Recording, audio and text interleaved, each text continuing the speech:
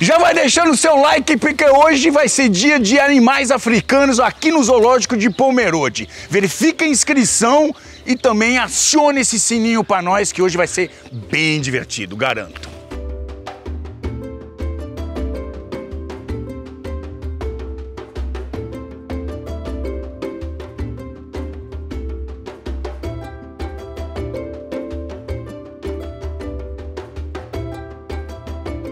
Conheça o boot do Richard, a minha marca de calçados de aventura.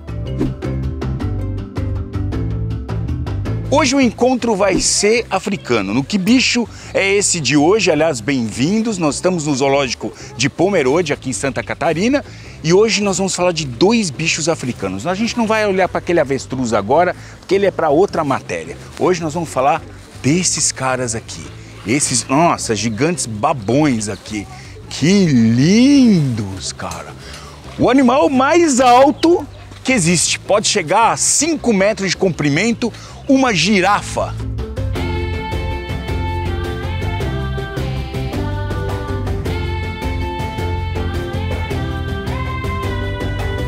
As girafas se alimentam cerca de 20 horas por dia. São bichos gigantescos. Lá no país de origem, África, são quatro espécies que existem. Tem as girafas em grupos do norte e do sul. Essas aqui são as girafas do norte. Você percebe porque o desenho delas, o pet delas, é bem regular. É, o desenho, as, as manchas são bem regulares, então elas fazem parte desse grupo do norte. Elas se alimentam de um grupo de plantas que a gente chama de acácias. São plantas com uns, uns espinhos desse tamanho, cara, mas que para elas parece que não faz a mínima diferença. Imagina esse bicho dando a luz. Um bicho dessa altura, o filhote quando nasce, ele cai de dois metros de altura. Você agora vai estar tá bonzinha comigo não? Ah, que chatinha. Você repara que ele tem uns cornos. Pode variar de dois a quatro cornos, são cobertos de pelos. E esses cornos, quando eles nascem, para não machucar a mãe, esses cornos, eles não são soldados no crânio, eles vão sendo soldados à medida que o animal vai amadurecendo.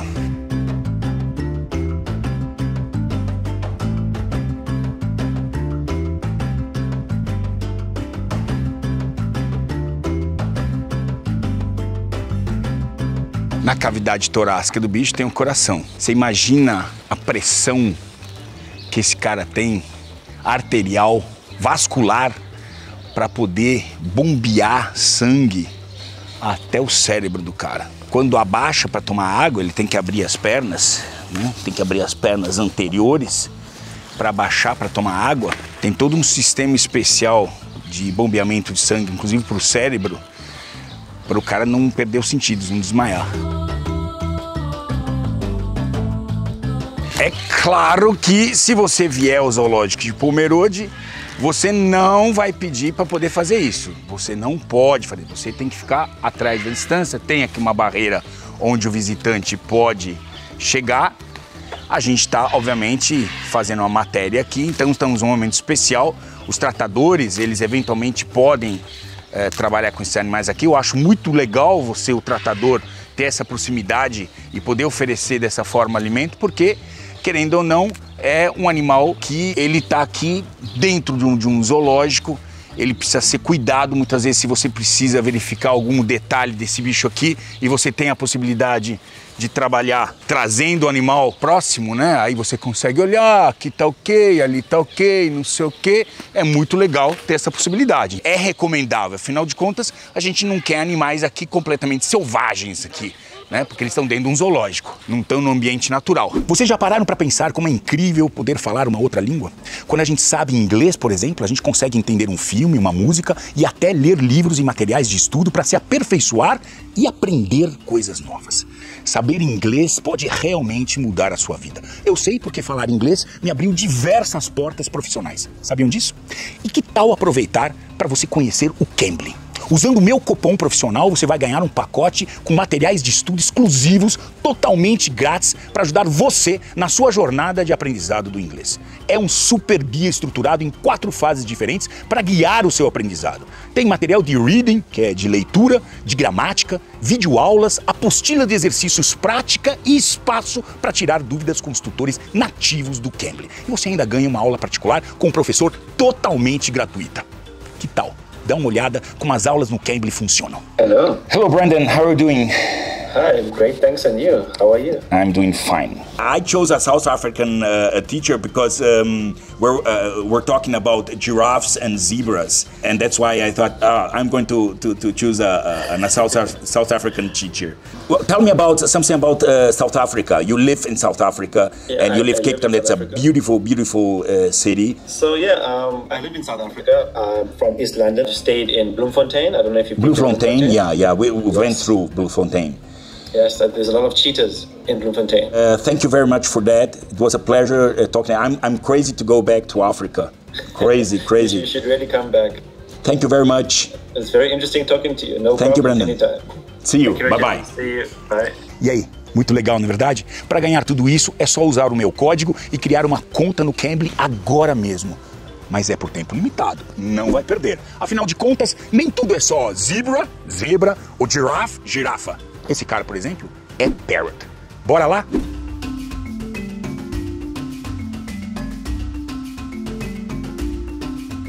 Entre as girafas, elas brigam na pescoçada. Deixa o pescoço, bum, bum, torta o pescoço uma em cima da outra. E quando são atacadas por predadores, quais são os predadores? Leão é um predador. Normalmente eles gostam de pegar as girafas menores, mas eu já vi grupo de leões atacando, pulando, se agarrando em girafas grandes. É no coice. Meu, um coice desse bicho quebra um leão no meio, cara. Se acertar, quebra o leão no meio, cara. É muita força. Nesses últimos 30 anos, a população de girafas despencou 40%, de 157 mil indivíduos para 97 mil indivíduos.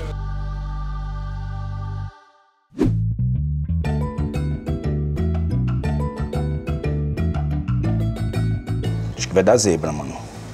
As zebras nunca foram domesticadas pelo ser humano, que são selvagens demais. Apesar de fazerem parte da família dos cavalos, dos jumentos, nunca o ser humano domesticou esse animal.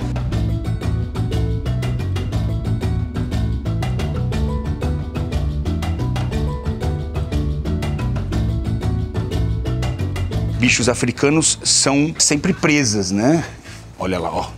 Qualquer movimento, o bicho é realmente bem arredio. Isso porque está num ambiente, enfim, que já está acostumado com o ser humano, o ser humano, né, está sempre circulando por fora do, do recinto. A grande pergunta que fica sempre a dúvida é: a zebra, ela é branca com faixas pretas ou ela é preta com faixa branca? As zebras são pretas na origem.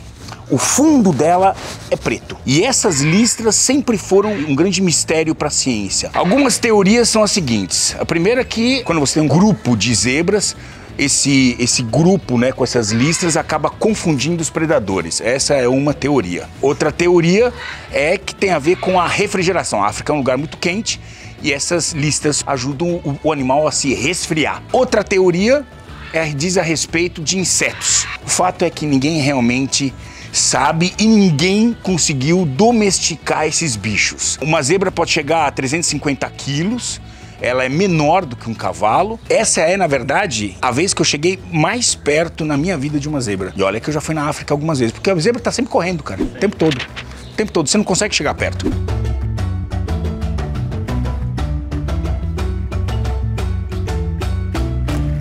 Toquei em você. Toquei no. É só pra dizer que nunca vou sair dessa terra sem ter tocado uma zebra, viu? Olha o tamanho dos dentes, cara. Morde pro cacete. Isso aqui dá manotada, mano. Isso aqui dá manotada, coice e morde. Zebras são estritamente africanas. Tem três espécies de zebra. Da planície, tem a da montanha, tem outra que é gravy, se não me engano. Um lugar que tem que ser conhecido se você não conhece a África. Se você gosta de animais, a África é imperdível. Agora que a gente né, deve voltar ao normal, a nossa vida, querendo ou não, nunca vai ser igual, mas normal, de uma certa forma normal, tem que ir para a África. Se você gosta de grandes animais, de megafauna, é um lugar incrível, certo, gordinho? Certo. Quer ir para a África? Eu quero. Hã? É, eu vou te levar para a África. Esse aqui foi a parte africana aqui do zoológico de Pomerode. Tem muitos outros animais africanos aqui, também tem leão, mas enfim, convido vocês a conhecerem o zoológico Pomerode. Os recintos são muito bonitos, a gente se sente bem aqui de olhar os recintos, olhar os animais. Gente vê que são animais muito tranquilos, que estão é, felizes bem cuidados, bem-estar animal sempre é a prioridade do zoológico de Pomerode. E, aliás, prestigie os bons zoológicos que a gente tem no Brasil, ok? O zoológico é uma ferramenta importante para a conservação, para a ciência, para a pesquisa, para a educação ambiental. Prestigie os zoológicos. Na descrição do vídeo tem o Instagram aqui do Zoológico de Pomerode para que você possa curtir os animais que tem e você possa, na próxima viagem que você vier ao sul, conhecê-los de perto. Beleza? Tamo junto, até a próxima. À Amazônia. Dá uma olhada no nosso barco. Que lugar maravilhoso, incrível. Se você não conhece a Amazônia brasileira, tá na hora de conhecer. A gente vem para cá cada dois, três meses, viajando a bordo de um barco regional comunidades indígenas, nadar com boto vermelho, focar jacaré, macacos. Nessa expedição a gente vai ter tudo isso comigo durante três dias. Te esperamos. Na descrição do vídeo tem um link que te leva até o site. Vai lá.